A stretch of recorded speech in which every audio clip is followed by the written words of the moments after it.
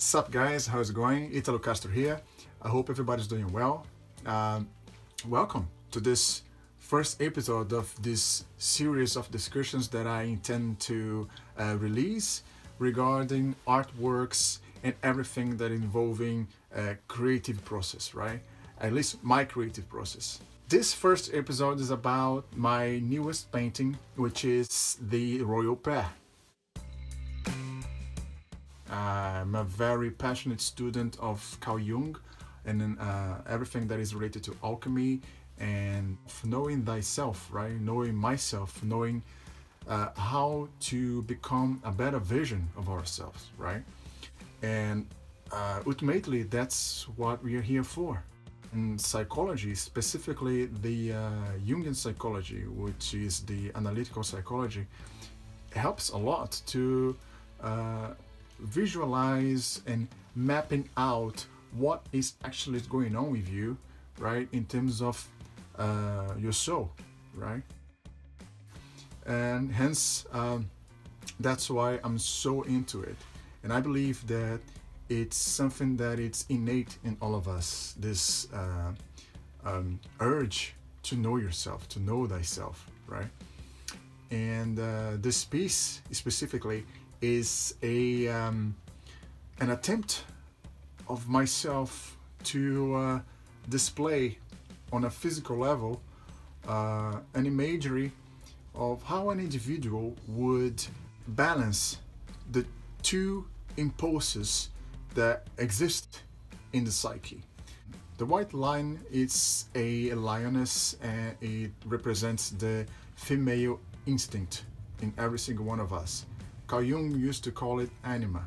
And uh, for all the years, for all the centuries, for all the millennia, uh, lion has been a, a, very powerful symbolism to represent uh, innate forces within us. In certain ways, uh, the white lion is a, a uh, representative of what could be your nourishment side of yourself we have both unbalanced aspects, either related to female or either related to males, right? You can develop a very strong male uh, unity within yourself, but you, in that case, you kind of sabotage your female part because the truth is, every single one of us, doesn't matter if you're a woman or a man, every single one of us has two instincts. That's two parts that becomes one.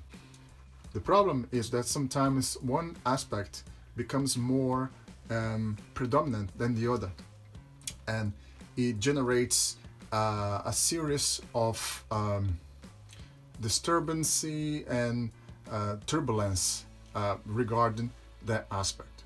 Let's say, for instance, if you are a guy and you neglect your female side of yourself, it will start to feed on a negatively way and you start to get uh, let's say um, your nourishment your nurturing side of yourself. Is not going to show up very much in your daily life. Uh, the same goes for a woman who develops a very a strong nurturing loving uh, personality but neglects the force, the straightness, and the uh, powerful uh, aspect of the male uh, side of the psyche. That case, this woman will always chase for a man in order to compensate this um, uh, inability to deal with problems in life, to take decisions, etc. Right? So uh, you can see how important it is to balance this aspect. So the red lion represents the male side of the soul. The red lion, it's uh, related to Mars, the planet Mars. The spirit of uh, Mars in ancient Greek times, in ancient Roman times, in ancient Egyptian times, it represents the uh, male, properly saying, you know is the warrior and you need this energy to move forward in life, to achieve something in life. Hence, that's why the color of this uh, lion is red.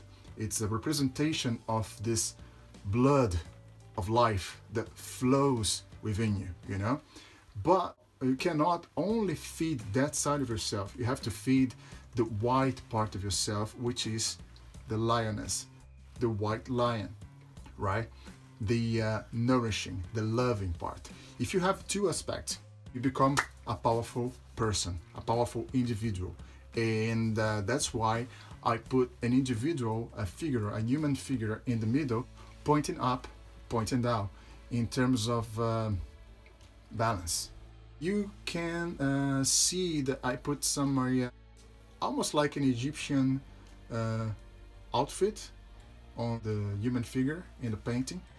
And that's just to represent that alchemy, this ancient, amazing art that help us to see the world in a proper way without the veil, helps you see yourself in a truthful way.